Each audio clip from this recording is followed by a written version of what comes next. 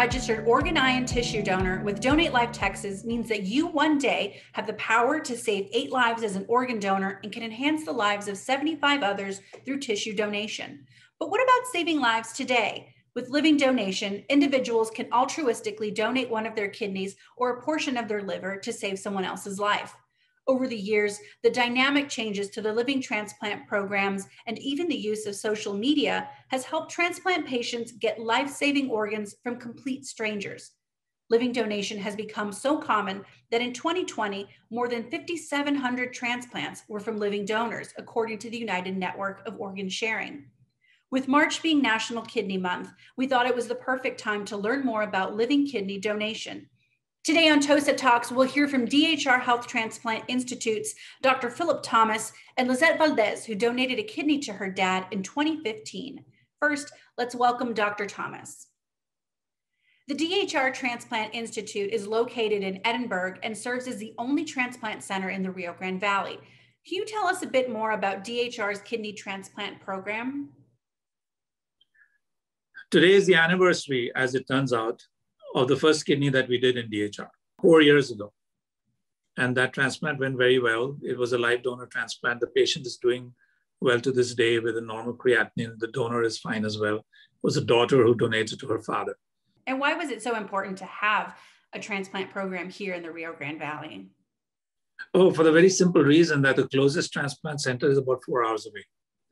Uh, I used to work in Galveston, and uh, we used to get some of our best patients from the valley. We ran a clinic here every month. And I used to joke with the patients that, you know, when you drive up from Galveston to, from the valley to Galveston, you may take uh, six to seven hours to come and we'll keep the kidney for you. But when you send you back after two weeks or three weeks that you stay here, you may take twice that time because you'll have to stop to pee every often, you know. So that was uh, uh, the reason, you know, that we knew that the valley has a lot of patients who need transplant. Even if a patient were to be were to elect or want to be transplanted outside the valley, they have to come back and live here. Mm-hmm. And sometimes they need to have access to a transplant surgeon and a facility uh, as an emergency. Since establishing their program in 2016, DHR has transplanted 66 patients, with 19 of them being from living donors. And of course, nationwide, there's about 83% of the transplant patients that are waiting for a kidney. And we know that with a new patient being added to the waiting list every 10 minutes, a patient faces a really long wait for their life saving gift.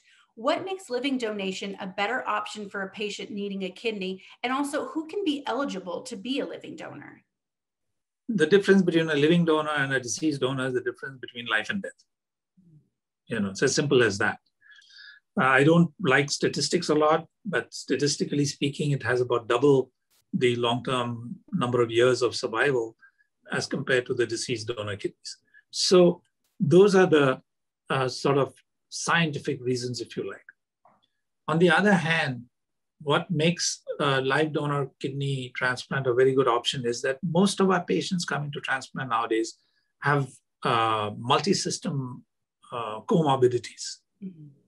And suppose somebody is frail, suppose he's got a cardiac issue. You optimize that and tell him that, you know, you may have to wait six years. Um, things can go downhill after that. Whereas with a live donor transplant, you can work to a date, a schedule, optimize them, get them transplant, and then maintain their optimum, optimization.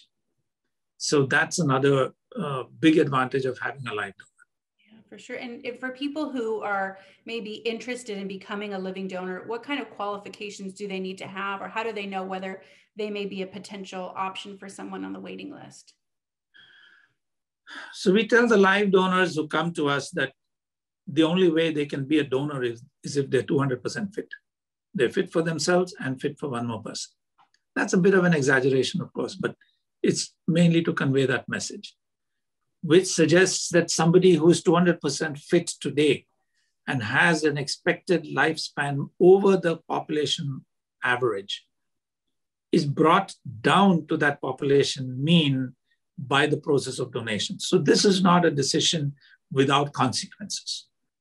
And they have to face the consequences. They have to agree or be motivated enough to face consequences. Having said that, they also have to be willing to mitigate those consequences. And perhaps the only thing we have now in our hands is if they maintain, uh, if they pledge or they promise to maintain fitness lifelong, right. which means weight control, uh, diet and exercise, and regular annual physical examinations. And so we talked about who could be, you know, a possible candidate, but again, there, there's probably someone who's watching this who's interested in becoming a living donor, either to someone that they know or to a complete stranger. What does that process look like to become a living donor? You just have to show up and say, I want to be a donor. If you have a recipient, then your workup will be built to the recipient. If you don't have a recipient, there is perhaps a little bit more of a uh, complex process to figure out how to pay for the workup. Mm-hmm. But uh, it's a very extensive, very thorough workup. And uh, if there's anything that is wrong with them, we will find out. Right. And that may or may not uh, preclude donation, but at least they will know and then they can, uh, you know, do what is necessary to prevent uh, problems arising from, from that, whatever we find out. So a physical exam, height, weight, um, is something that we uh, would be a baseline workup, blood pressure, vital signs. And uh, that's all the screening that we really need up front. Aside from their deceased and living donor programs, Dr. Thomas says that DHR is working to establish a paired kidney program. In this scenario, recipients who have would be donors but are unfortunately incompatible are able to match with other donor recipient pairs in the same situation. And soon enough, it'll even be easier to become a living donor thanks to Donate Life America. The organization announced that it will soon launch the National Donate Life Living Donor Registry at registerme.org. When people sign up to become an organ and tissue donor, they'll also be allowed to declare their intent to be a living donor. Thank you, Dr. Thomas and DHR Transplant Institute for visiting with us to explain living kidney donation. Our next guest, Lissette Valadez, is no stranger to the DHR program. Lissette, six years ago, you donated a kidney to your dad at DHR. Can you tell us about your decision to be a life saving donor and why you found it to be the best option for your dad? Yes, I did make the decision to be a living donor, especially to my father, uh, six years ago. He was already under dialysis for four years and had been on the waiting list for those four years, but they had told him that it was approximately 10 to 12 years on the waiting list. Mm-hmm. His health was um, getting worse and worse. So it was a very sad scene, especially because you didn't know how to help. And um, one special day that I was there at home while we were waiting for him to arrive from dialysis, um, I happened to open the door when he, you know, rang the doorbell. And when I did, he fainted on my arms. But that was the day I made the decision. I think that was the best option for my for for me to do this for my father because it literally literally stopped that big gap of getting worse and just took a 360 turn on his life. And as a living donor and a family member of a patient who was in need, why do you think it's important for people to consider living donation? Well, first of all, the most important thing, because you get to give someone, you get to change someone else's story. As a family member, if, if you want to donate your kidney, because we can live off of one, I'm proof of it. And not only did I um, did something great, but it's also something great for me because I take care of myself better. I eat better. I am more because now I, I am aware of what I did, and you know now I instead of two you only have one. So of course you want to take better care of yourself. Right. And what was your dad's reaction when you told him that you've made this decision to to be a living donor? I remember it was November 14, 2014, and it only took me uh, three weeks to get everything uh, done. Um, I took the initiative to call the dialysis office mm-hmm. and I just said, I want to be a living donor for my father. Obviously, they referred me to the, uh, the experts, right? So I was call after call, following the steps what I needed to do. Because don't get me wrong, I had no idea how to go about it, but I asked.